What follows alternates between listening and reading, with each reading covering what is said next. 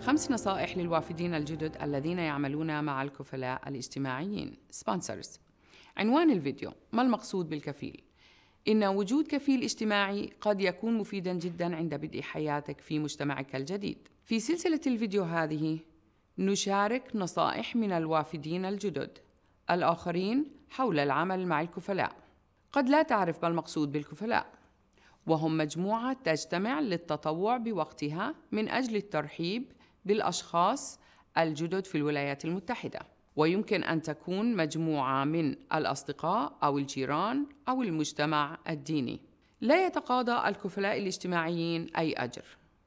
فهم يفعلون ذلك من باب عمل الخير.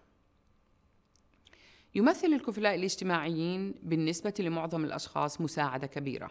يقدم الكفلاء المساعدة في أشياء مثل تعلم كيفية التسوق والذهاب إلى الطبيب وممارسة اللغة الإنجليزية. هذا يجعل من السهل التكيف مع مجتمعك الجديد. الهدف من مقاطع الفيديو هذه هو مساعدتك على الحصول على تجربة جيدة مع كفيلك.